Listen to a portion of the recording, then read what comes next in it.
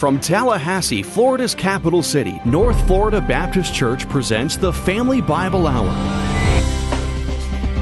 Stay tuned for 60 minutes of beautiful hymns, musical groups, and solos with a special presentation from the North Florida Choir and Orchestra.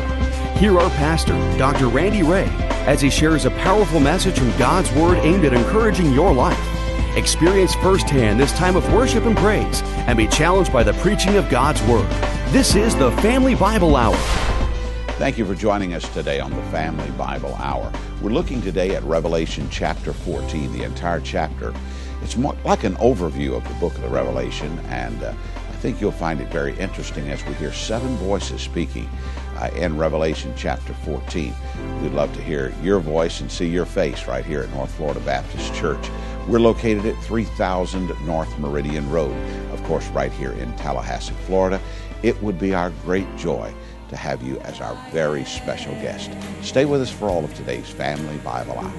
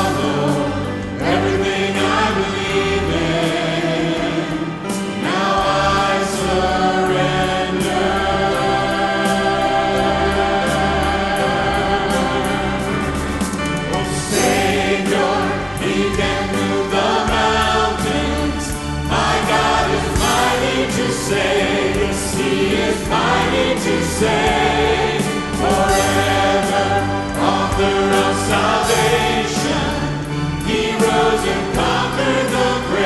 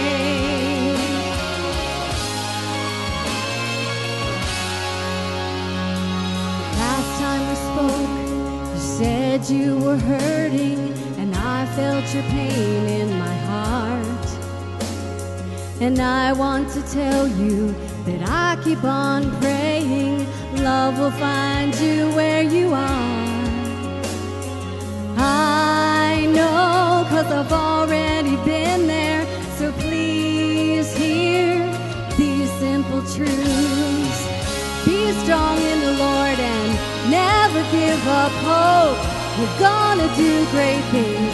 I already know God's got his hand on you, so don't live life in fear.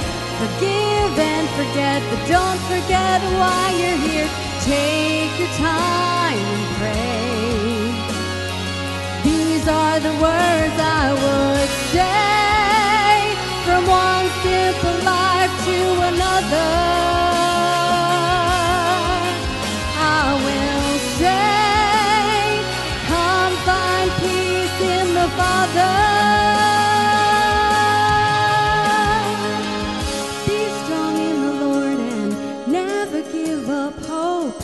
Gonna do great things. I already know God's got his hand on you, so don't live life in fear.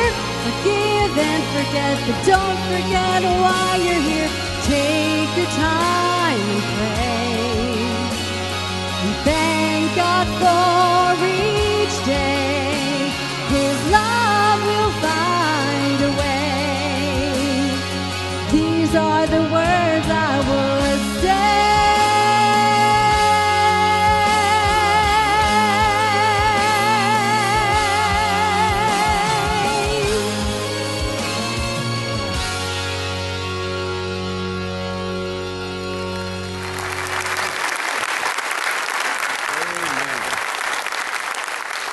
so much, Kara. Great music today. I've just really enjoyed everything about the music today. And thank you so much, uh, all of you who participate in our music program. Will you take your Bibles and turn to the book of the Revelation, chapter 14? The book of the Revelation, chapter 14. The title of the message today is Seven Voices.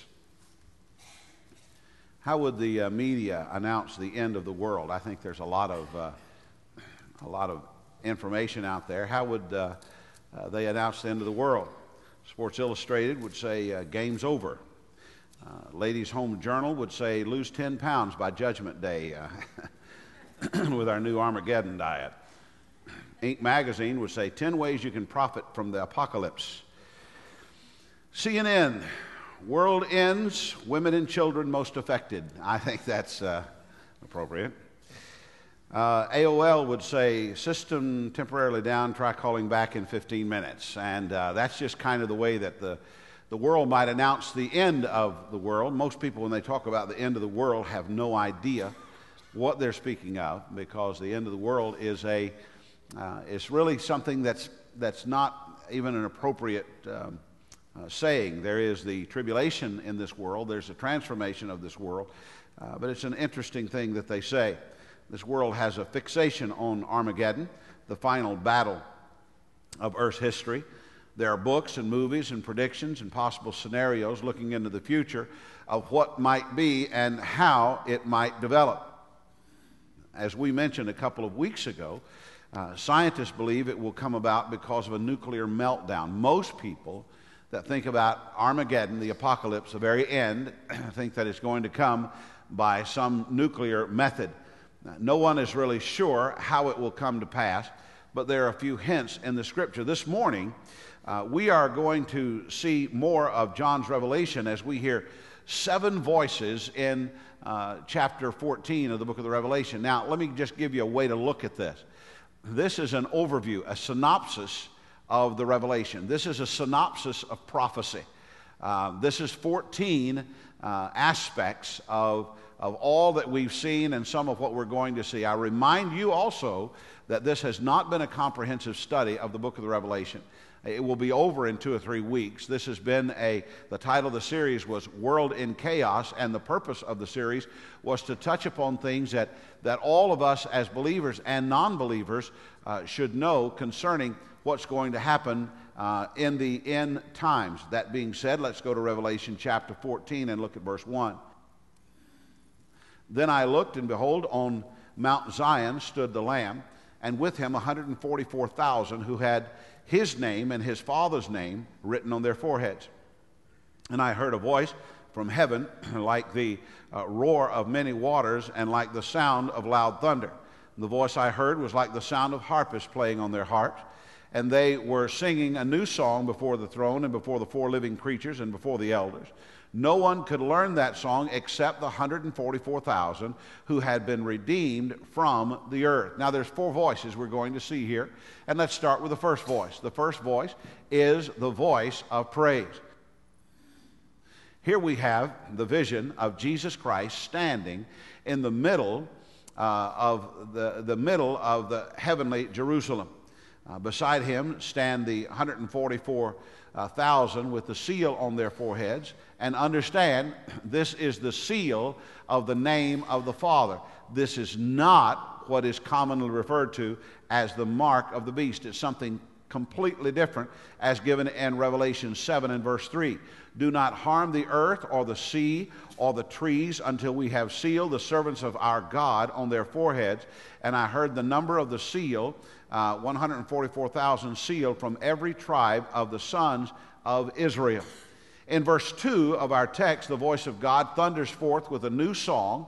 Uh, a whole new song comes forth from God. I don't know what that song's going to be, but it must be magnificent if God's going to sing it, you know. And so this, this whole new song thunders forth, and, and a new song of praise begins throughout all of, uh, all of heaven.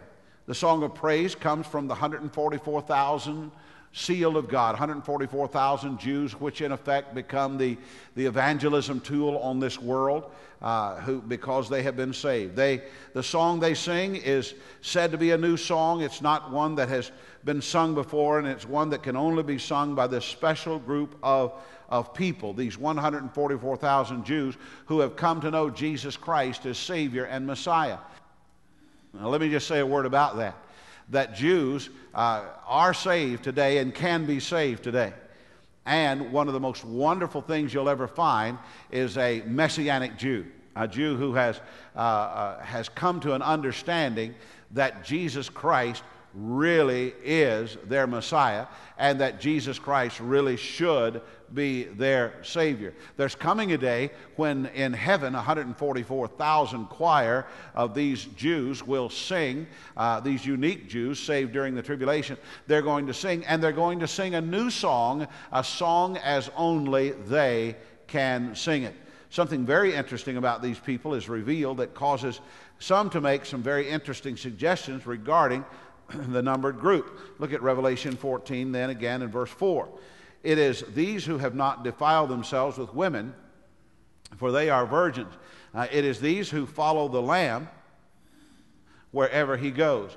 These have redeemed from mankind as firstfruits of God and the Lamb, and there in the mouth uh, no lie was found, for they are blameless. Now, this is an interesting thing. These verses indicate that the 144,000 are men and men only. Doesn't mean only men will be saved, but this is a count of men.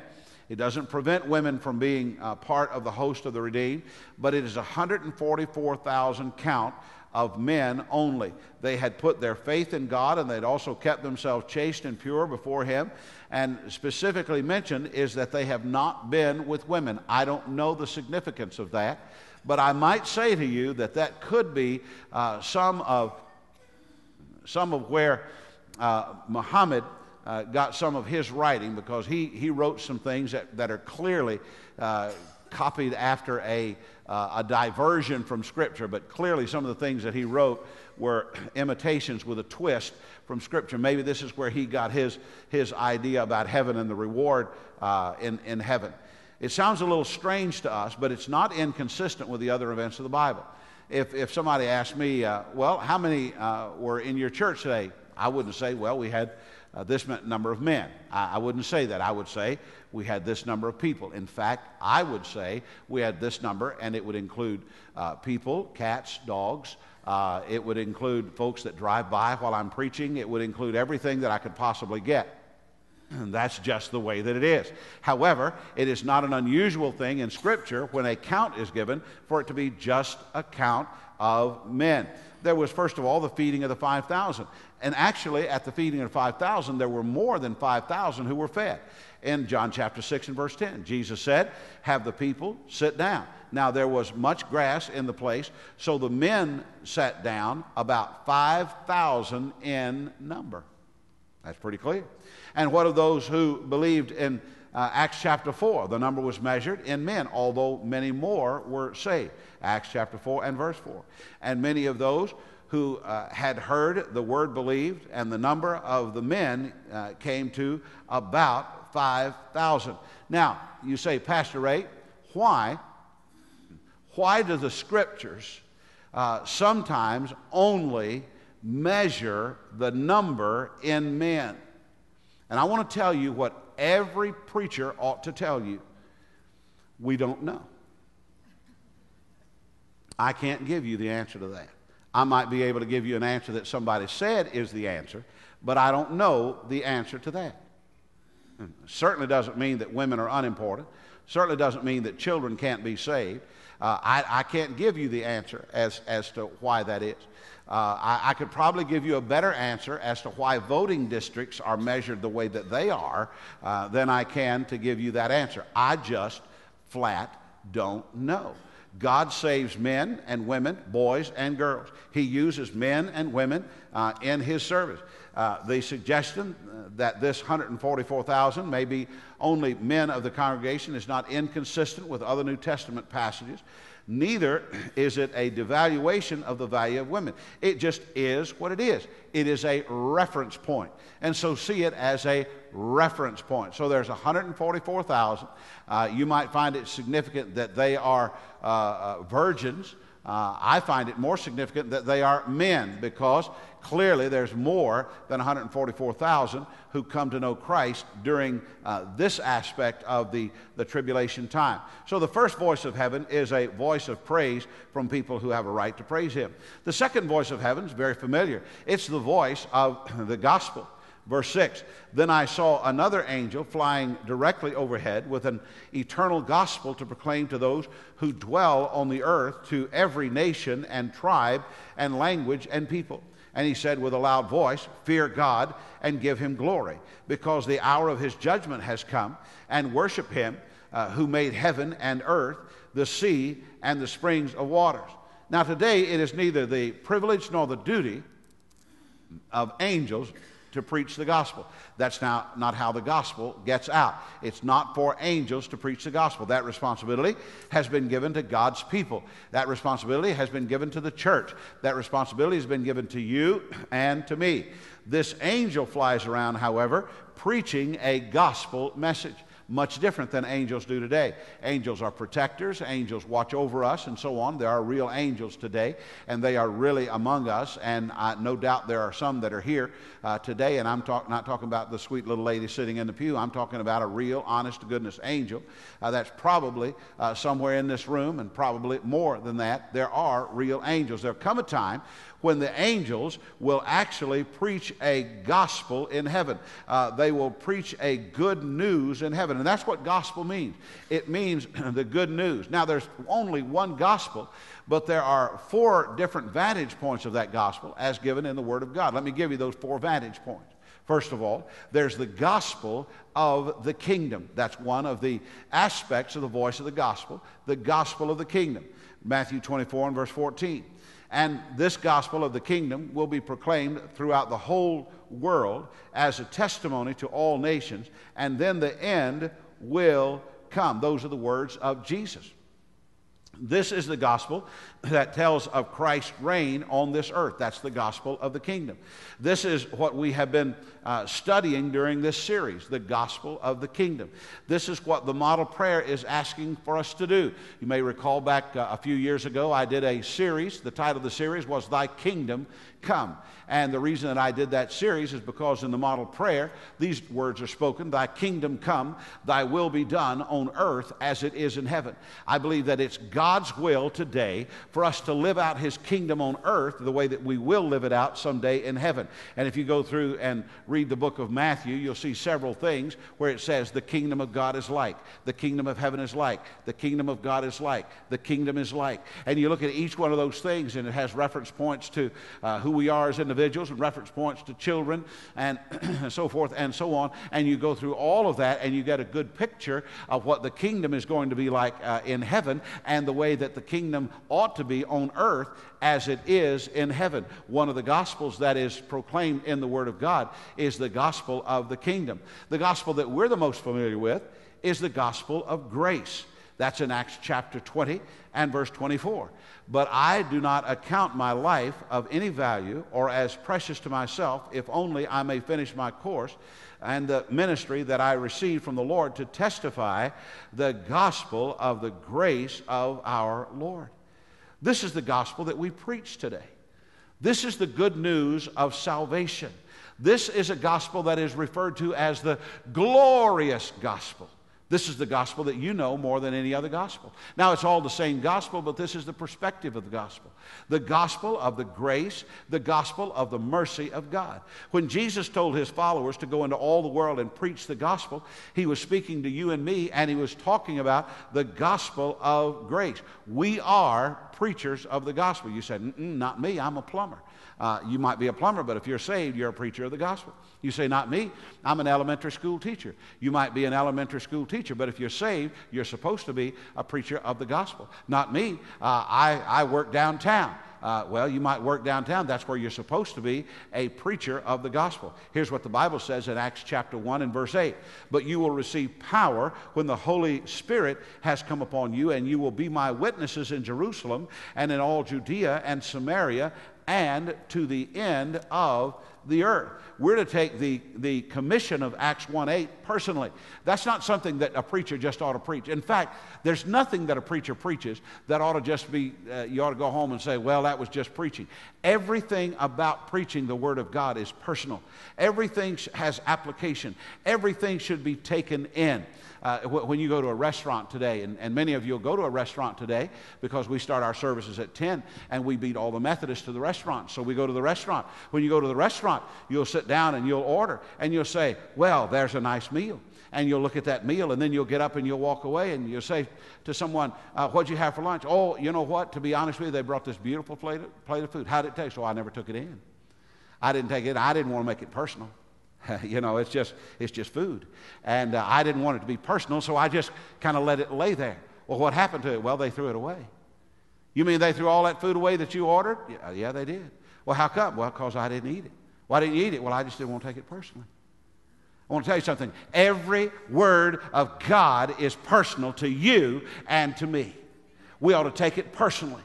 We ought not say, well, that's just there. It doesn't count for much. It doesn't mean much. I don't want to fool with it. I don't want to mess with it. It is a serious word for your life and for mine. We're talking about the voice of the gospel. There's the gospel of the kingdom, there's the gospel of grace, and then there's Paul's gospel. Paul took the gospel message so personally that he sometimes called it my gospel. You ever feel that way? I hope you feel that way about your church. Oftentimes people say, uh, My church is right over here. I like that when people say, My church. I like that sense of, of connection. I like that sense of even ownership, if you will. Uh, Paul felt such a sense of connection to the gospel that he referred to it as my gospel. He took it personally and referred to it in that way. His gospel is the same gospel as the gospel of grace, but he added emphasis of its availability to all, and he said, This is just how close this is to me. Romans chapter 1 and verse 16 For I'm not ashamed of the gospel, for it is the power of God for the salvation to everyone who believes, to the Jew first, and also to the Greek.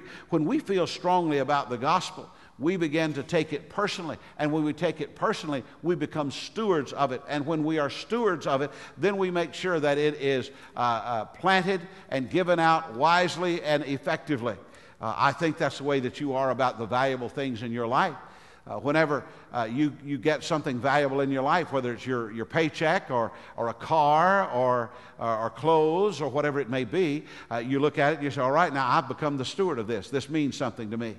Uh, you guys, you'll buy a tie and uh, you, you go to. Uh, uh, you go to a place to eat and you sit down and, and you, you spill something on your tie. And don't tell me you don't take it personally. You like it and you say, oh my goodness gracious, look at what I've done to my tie.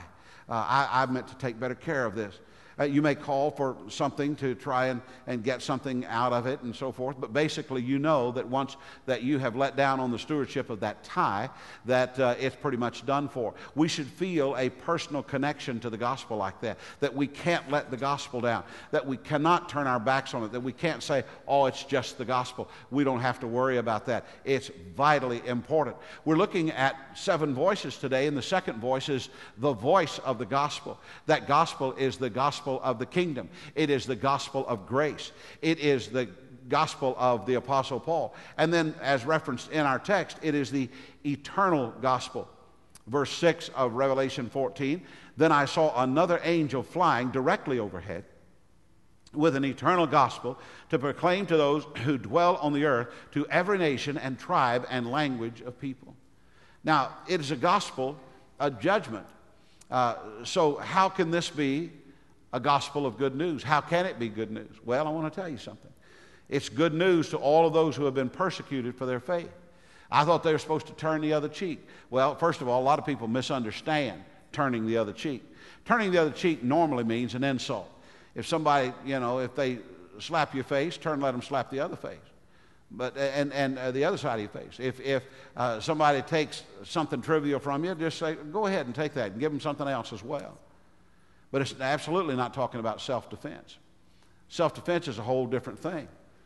You know, you can slap me on the cheek and I may turn the other cheek. I think that I would. But you slap my wife on the cheek, I'll stomp a mud hole in you. I'll just do it I, right now. I'll tell you I will. I, I, think, I think that a lot of times we misunderstand uh, the meaning of Scripture. Now, why in the world would these people, uh, why would it be good news that judgment is going to fall on this earth? Well, because they are uh, calling out to God not from a position of grace, because they have not suffered, they have not been saved during the day of grace. They've been saved during the day of, of tribulation. The tribulation saints are not living in this grace and mercy time, they're living in torment and suffering time, and they've called out to God and asked Him, When will you avenge us? They've asked, when will you, when will you uh, uh, pay retribution on those who have suffered, uh, caused us to suffer so? And that, that angel says, Let me tell you the eternal gospel, it's coming. Don't you worry about it. That same God of grace is a God of judgment. And, and God is, is going to avenge uh, your blood. God loves you so much. How could a God of love judge? Because he loved the people who were suffering. So, those are the voices of the gospel. You have the voice of praise, you have the voice of the gospel, and then, thirdly, as, as we've just implicated or indicated, is the voice of judgment. Verse 7, he said with a loud voice, Fear God and give him glory, because the hour of his judgment has come, and worship him who made heaven and earth, uh, the sea, and the springs of water. Another angel, a second, followed, saying, Fallen, fallen is Babylon the Great uh, she who made all nations drink the wine of the passion of her sexual immorality. Babylon is a word that comes up in, uh, in the book of the Revelation. It's something that sometimes people uh, are a little confused on. Let me give you just a simple understanding of Babylon. Babylon is God's name for the world system that the beast will uh, create uh, during the time of the tribulation, and there will be a world system. We've studied that. There, there'll be a world system of economy, there'll be a world system of, of politics, there'll be a world system of, of uh, religion. In Revelation 17, uh, Babylon is referred to as the harlot as far as the religious system is concerned. Uh, the beast uses uh, the harlot uh, or the religious aspect to accomplish his organization. This angel that has just spoken up now in uh, this verse is proclaiming that judgment on Babylon is coming and, and Babylon's going to be judged for her wickedness. How wicked was the evil empire or will the evil empire of Babylon be? Now I'm going to read to you about how bad Babylon is, and I want you, as I'm reading it to you, just a, a short passage, I want you to be thinking to yourself, how far from Babylon are we right now? All right? Let's just do that. In Revelation chapter 18 and verse 2. And he called out with a mighty voice, Fallen, fallen is Babylon the Great. She has become a dwelling place for demons, a haunt for every unclean spirit, a haunt for every unclean bird, a haunt for every unclean and detestable beast. In other words, she's become a haven for all that's wicked in this world. Babylon has. Do you ever look at our, our country? Do you ever look at our community? And do you ever think to yourself, my soul, we're becoming a haven for all that's wicked in this world? Have you ever looked at, at the way that things are? Just in, and, and I'll tell you why we, we have sometimes a, a problem with that is because we're like the, the frog that gets put in the kettle when the water's cold. It feels fine to us, and then the water gets heated up until all of a sudden we've been cooked from the inside out. But the reality is that America and the world in general is closer to what Babylon's going to be than, than at any other time in our history. It continues to move on and on and on and on and on. Go to some of these public forums that we have here in town. Go down to the commission and, and, and speak against uh, one of these forums uh, or one of these issues that, that comes up in the Tallahassee uh, Council or Commission or the Leon County uh, Commission regarding special rights and, and this, that, and the other of groups that, quite frankly, unite based on one huge immorality. Go take a look at that and see how that, that now the world has become afraid to cry out against sin. We're afraid to say that homosexuality is a sin against God. We're afraid to say that. But could I say this to you? For a long time, we've been afraid to say that, uh, that adultery is a sin against God. You, you know what we've done? Uh, we, have, we have translated this society from a society that says be pure to a society that says be careful. That's where we're living in this society right now. And, and I'm telling you, we're just a few baby steps away from uh, Babylonian philosophy in the United States of America. We're right here. Babylon was evil, very evil, and the wickedness of the tribulation will not be overlooked in the judgment of God, and, and the wickedness of, of our world will not be overlooked in the judgment of God. I, think there's, there's, and people ask me this they said, Do you think God's letting us go through this as a time of judgment because of the way that we've done this or that or the other? Well, I've got two answers for that. I don't know, and of course it is. Of course it is. Uh, the, the, many, many years ago, there was a, uh, a famous theologian in, in England who, who his name was G.K. Chesterton, I believe, and uh, the, the, the newspaper there in London uh, put a, a contest out that for somebody to tell what's wrong with the world. And, and they were, and the best entry would gain some prize and, and uh, a monetary prize. And G.K. Chesterton uh, was the, or C.K. Chesterton is the one uh, that won the prize. His response to what's wrong with the world was, I am. And that's pretty much what's wrong with the world. It's me. It's you. The black people used to sing, It's me, it's me, O Lord, standing in the need of prayer.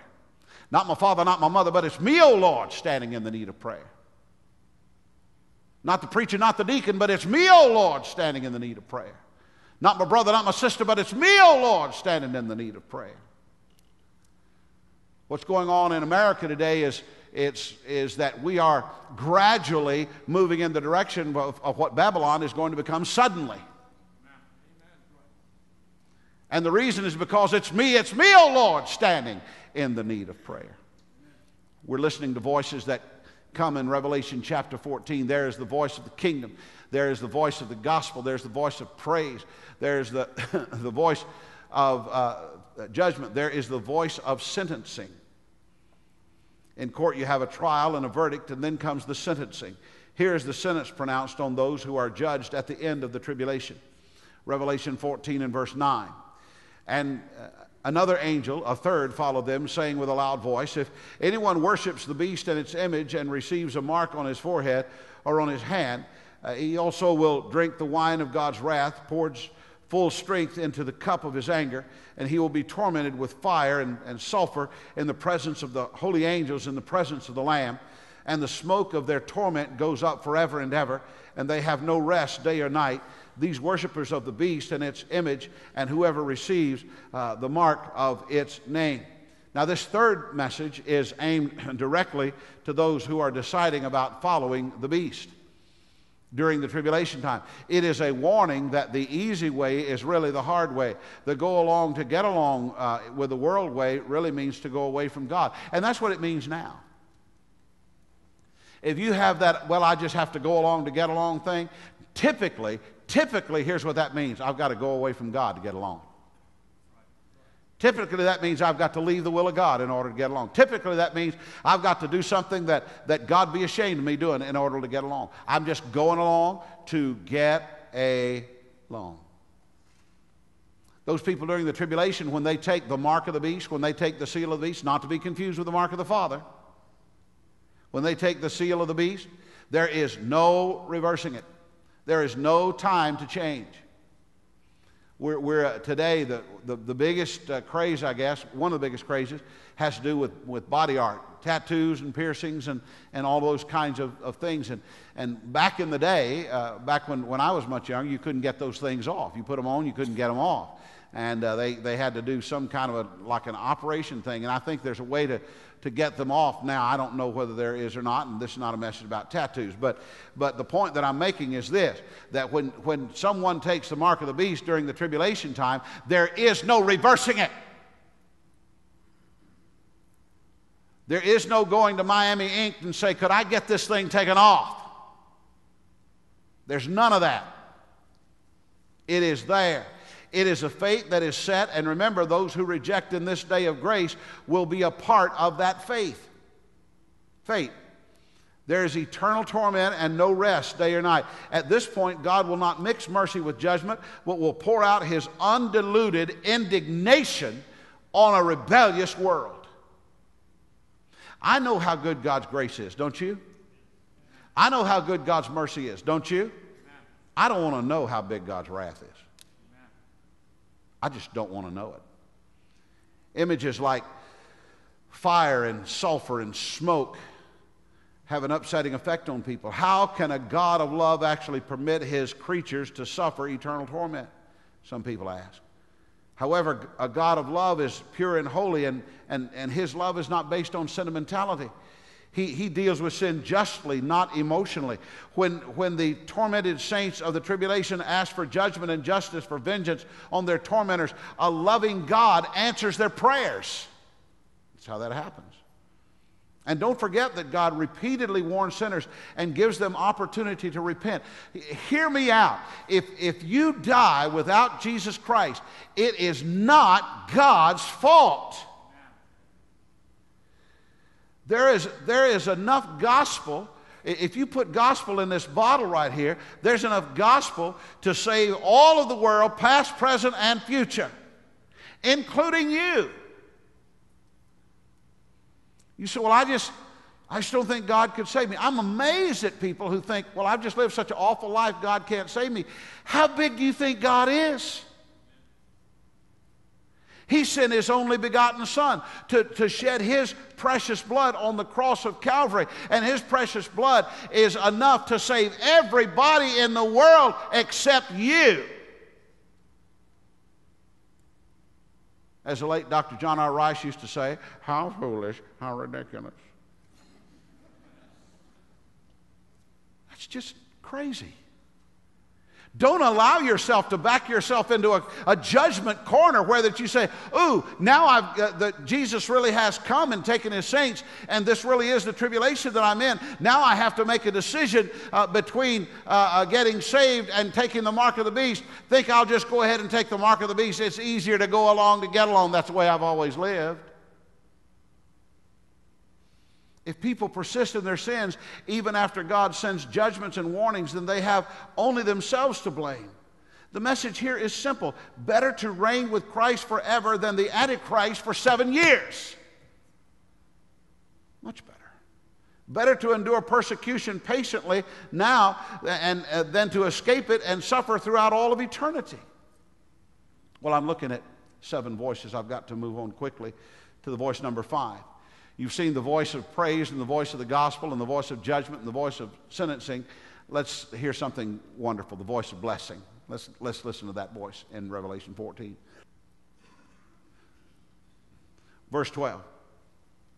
Here is a call for the endurance of the saints, those who keep the commandments of God and, and their faith in Jesus.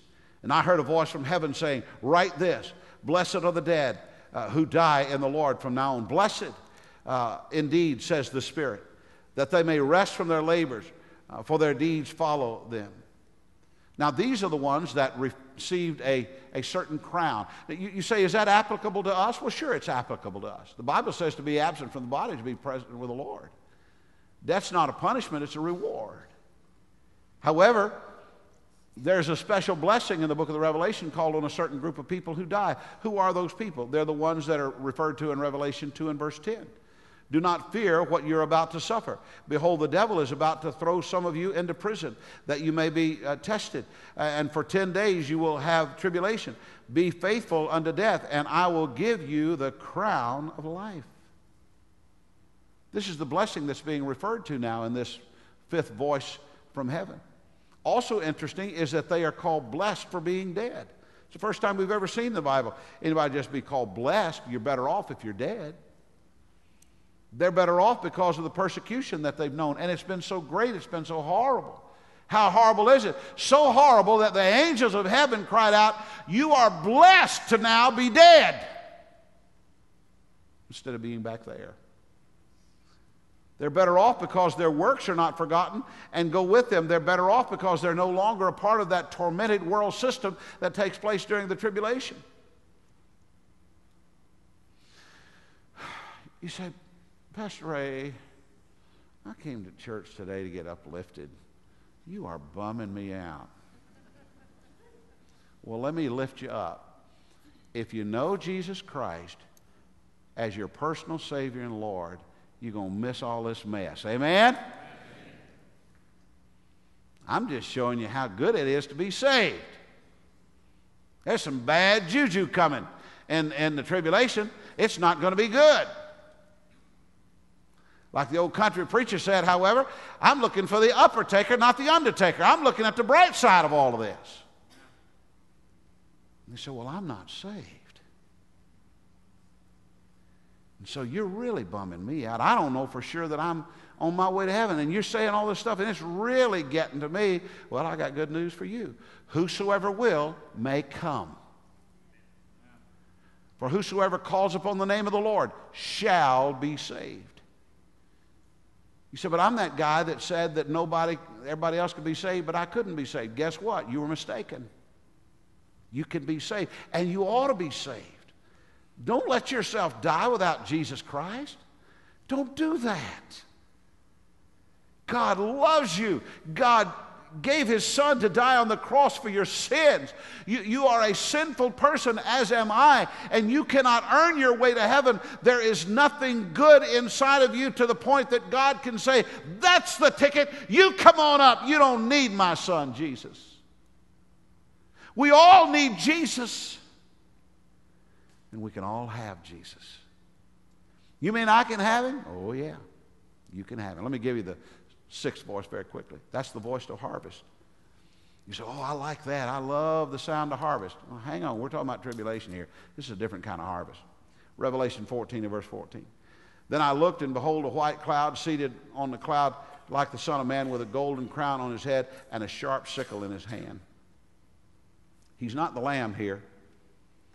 He is not in the glory of his coming, but he is the reaper holding a sickle ready to harvest. That is God.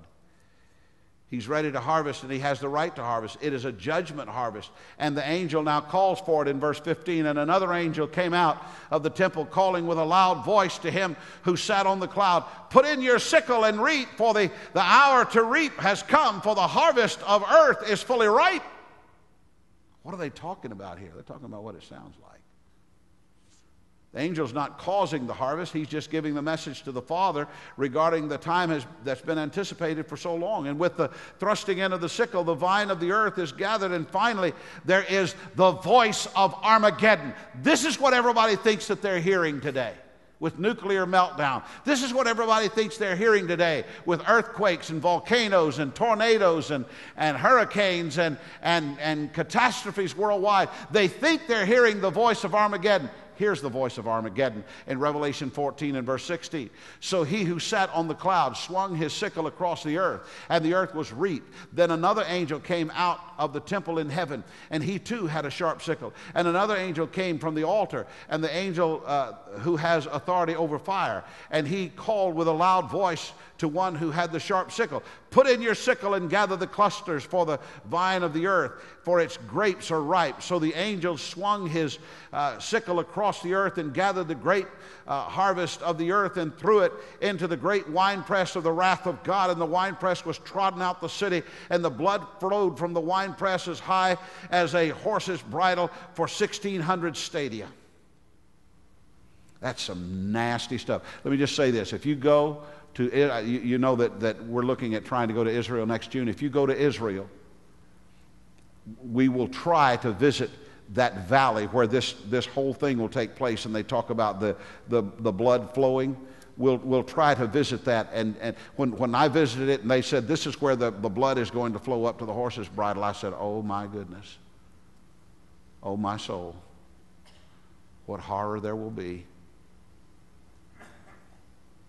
Today, the, the, the place, excuse me, the, the beast and his circle and, and his system, his world are gathered on the earth or from the earth, and the wine press, uh, presses the fierceness and the wrath of an almighty God. Verse 15 said, From his mouth comes a sharp sword, and with which to strike down the nations, and he will rule them with a rod of iron. He will tread the winepress of the fury of the wrath of God the Almighty. The place is the place Revelation 16 16 calls Armageddon. The person pictured here on the white horse is undoubtedly our Lord Jesus Christ and the pictures of the final judgment of the world. God has permitted the seeds of iniquity to grow until they're ripe, and then He judges. Well, He, he brings in His sickle. He said, I see the seeds of iniquity now.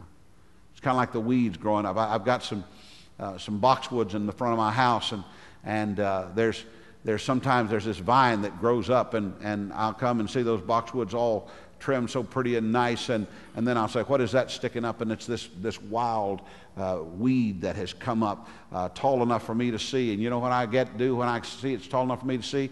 I get me some gloves because it's sticky and I, uh, uh, stickery, and I reach down in there and I pull that thing up because it is now grown enough to be judged by me.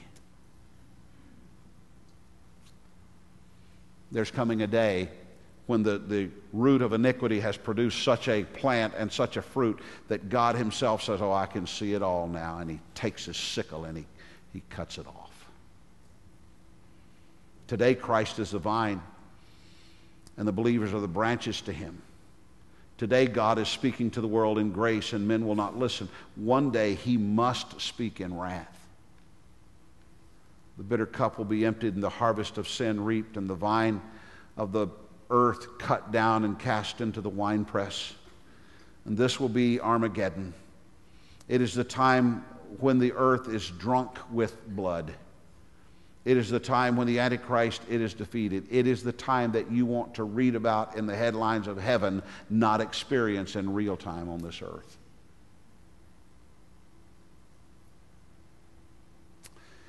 I, want to tell you something. I, I've told you many times over that I got saved when I was eight years old.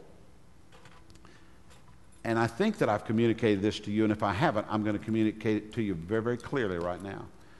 I'm 61 years old, so that means I've been saved a long time. All right? Long, long time. Thank God I've been saved a long, long time. Do you know why I got saved when I was eight? Very, very simple. Because you want to give your heart to Jesus and serve Him? No, no, no. Because my daddy was a hellfire and brimstone preacher. And the last thing I can, I can hear my daddy now. I, I saw my daddy one time strike a match at the pulpit of the church and hold that thing up and said, Anybody want to come here and put your finger to the end of this? See how long you can stand it? Oh, come on, Daddy. He said, Could I tell you this? This is nothing compared to the torments of hell. And could I tell you something? I got saved for one reason and one reason only. I did not want to go to hell. Period. I can still see my daddy with those matches. I can still see him begging somebody to come up and touch the end of the flame with their finger, and they wouldn't do it. And I can remember that, that pit inside of me that kept turning and churning and saying, Oh boy, you need to be saved. So I don't think you ought to scare a kid like that. I'm going to tell you something. I'm delighted that when I was 11 years old, I got the hell scared out of me. Just absolutely delighted. Some of you should have had it scared out of you earlier because now you've become hardened to it. Now you think you can get by. You don't have to believe me, but you must believe God. And Jesus himself said, you must be born again. You have been watching the Family Bible Hour, a ministry of North Florida Baptist Church in Tallahassee, Florida. If you would like a copy of today's message on CD or DVD, write to us at Family Bible Hour, 3000 North Meridian Road, Tallahassee, Florida, 32312. Visit us online at nflchurch.com or call us at 850 385 7181. Join us again next time for the Family Bible Hour.